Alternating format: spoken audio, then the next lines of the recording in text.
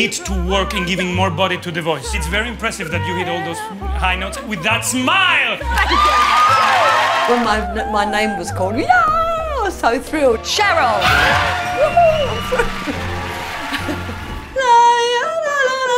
Cheryl is going to be singing the laughing aria from Die Mouse. My two solo arias were in French. This next one is in German. Sprache. Sprache. German is a difficult language to sing in. Die Sprache, die No, Sprache. Yeah. Die Sprache, die. You cannot learn a new language in just one week, but we need to help her, one phrase at a time until she gets it right.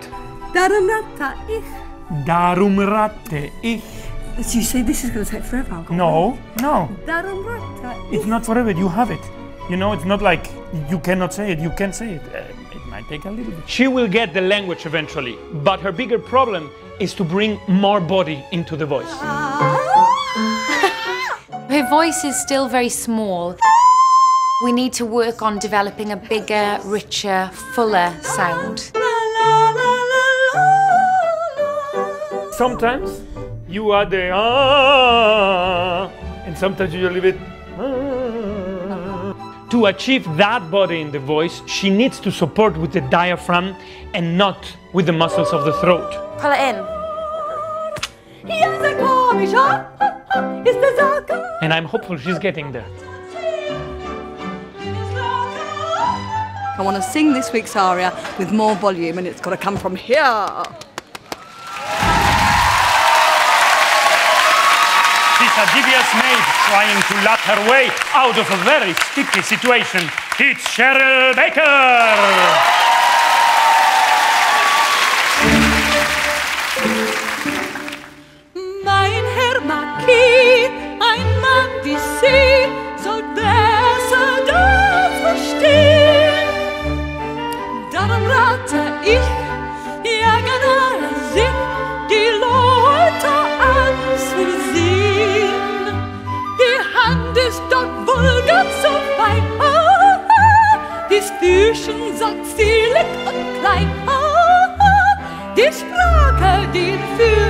Führer, die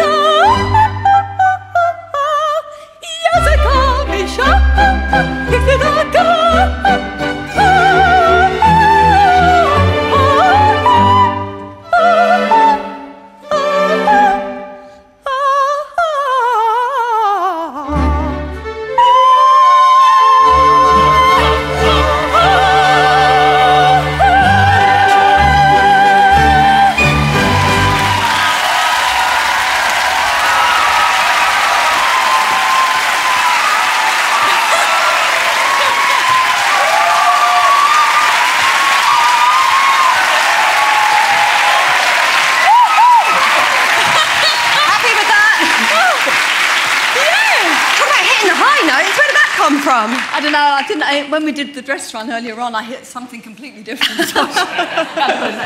You surprised yourself. Simon, what did you think?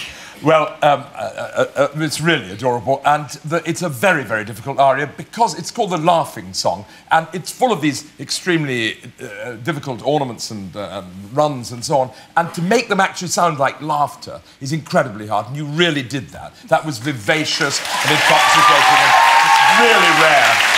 I mean, I've directed the piece, and I couldn't get my, my soprano to do that for me. And that's from someone with a great laugh himself, so that's a real compliment. What do you think there, Vanessa? Yeah, no, I loved it. Um, there was a lot going on for you staging wise, and you carried it off professionally. I would have just liked to see a little bit more spontaneity.